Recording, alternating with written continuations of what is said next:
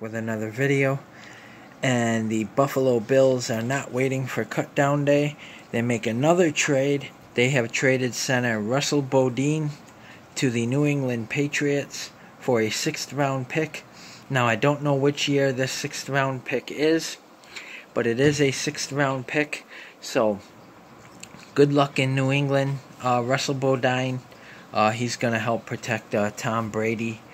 Uh, so uh, it was I don't know how we got anything for Russell Bodine. He's garbage. But uh good luck in New England, Russell Bodine. Uh, I can't believe we traded with the Patriots. Uh, an interdivision trade. Normally you don't see them, but they have traded with New England in the past. Look at the Drew Bledsoe deal.